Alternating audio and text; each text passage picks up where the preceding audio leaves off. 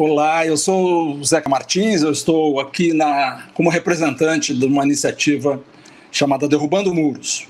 O Derrubando Muros é uma iniciativa que foi fundada há um ano e meio atrás por, por cidadãos, por pessoas da sociedade civil, como qualquer um de vocês que nos assiste agora.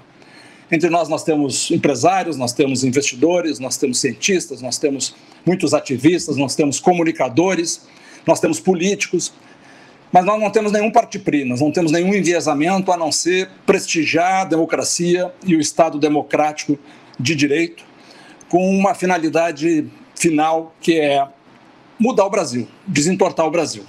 A gente sabe que nós temos hoje um, um momento de terrível de, de governo distópico entre nós, mas a gente acha que esse governo não demorará muito se depender das nossas iniciativas. E é nisso que nós estamos empenhados. E nós estamos empenhados mais do que superar esse governo. Nós estamos trabalhando hoje em 11 frentes diferentes para constituir uma agenda. Quem sabe essa agenda possa nos levar a um destino, um manifesto para o Brasil, com uma ambição que talvez tivesse nos faltado ao ponto de nós chegarmos onde estamos hoje, para tristeza de todos, mas não para a derrota de cada um de nós.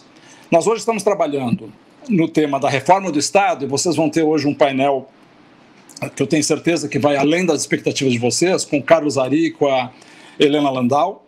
Em seguida, nós teremos um com Armínio Fraga.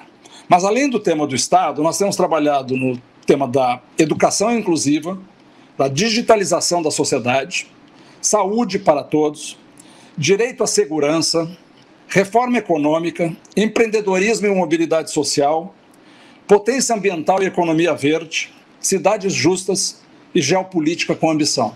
Em cada um desses núcleos, nós temos um grupo de nós, nós somos 92 pessoas, todos nós é trabalho pro bono, engajados em construir um arcabouço de uma aspiração com ambição que nós notamos que tem nos faltado. Nós não pretendemos representar nada nem ninguém a não ser nós mesmos, mas nós achamos que nós somos uma representação legítima do que a sociedade brasileira pode aspirar.